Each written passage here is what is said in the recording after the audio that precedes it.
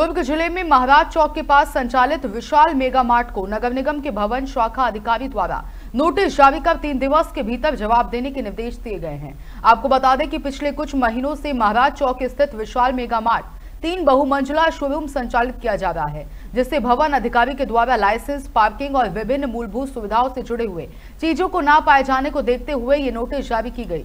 वहीं जब मीडिया कर्मी इस मामले में वस्तु, स्थिति जानने स्टोर का वास्तु स्थिति देखने पहुँची तो पता चला की पार्किंग के स्थल पर वहाँ अभी सिर्फ़ एक बोर्ड लिखकर टंगा दिया गया है और अंदर आज भी वहाँ कार्य चल रहा है। इसके साथ ही आधे अधूरे भवन के बीच जनता मूलभूत सुविधाओं से वंचित होकर यहाँ त्योहारी सीज़न को देखते हुए अपनी शॉपिंग करने पहुँच रही है। और अपने आप को ठगा सा महसूस कर रही है। दुर्ग से संध्या कुमारी की रिपोर्ट। नहीं उसमें मेरे पास शिकायत आई थी कि विशाल नगर मार्ट जो जिस भवन पे संचालित हो रहा है, उसकी भवन अनुमोदन नहीं मिल रही है। और उसने जो है, मास्टर लाइसेंस भी नहीं लिया है। उसके संबंध में उसको नोटिस जारी कर दिए हैं।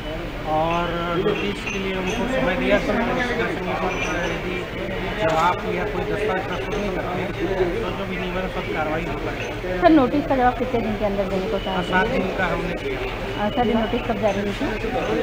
पहले। तो सर आपके द्वारा कुछ जाँच वगैरह के लिए तो कुछ पाया गया उसमें जाँच में पहले तो हमने प्रथम दृष्टा नोटिस दे के उनको खुद के दस्तावेज़ सबमिट करने के लिए क्योंकि हमको ये नहीं मालूम है कि वो जो है परिषद किसके नाम से है।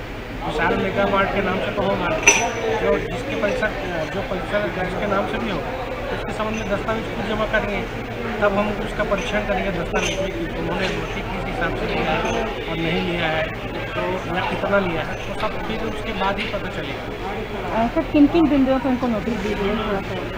उस तीनों बिना नोटी के निर्माण का प्लस जो है जो मास्टर लाइसेंस लिया और उसकी कॉपी दो बिंदु ठीक।